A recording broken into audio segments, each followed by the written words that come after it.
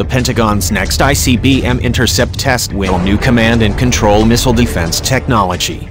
The Pentagon's next intercept test will incorporate new missile defense technology engineered to improve the likelihood that a ground-based interceptor can succeed in destroying an approaching ICBM nuclear weapons attack. Northrop Grumman is working with the Missile Defense Agency to refine new command and control systems able to exchange time-sensitive information with an interceptor kill vehicle to improve its ability to guide toward an attacking enemy ICBM. The technology, which involves the integration of new components into data terminals and communications networks, is designed to increase reliability of the Pentagon's ground mid-course defense system and expedite the process through which sensors and data locate ICBM targets. Mark Thornton, Director of Missile Defense Systems Operating Unit, Northrop Grumman, told Scout Warrior in an interview.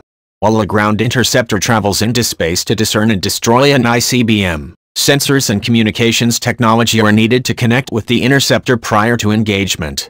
While many of the details, sensors or RF technologies involved are, not surprisingly, unavailable for public discussion, there are a number of substantial cutting-edge improvements emerging quickly.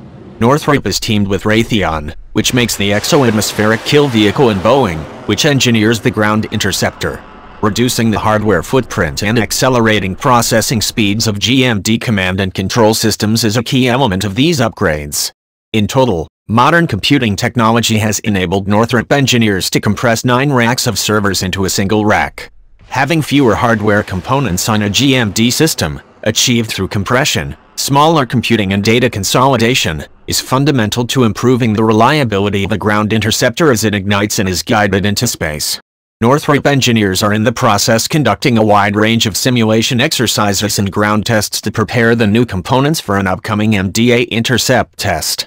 The precise timing of the next test is not yet specified, however it is likely to be of great significance given that a Pentagon GBI succeeded in destroying an incoming ICBM target in space for the first time, just within the last few months.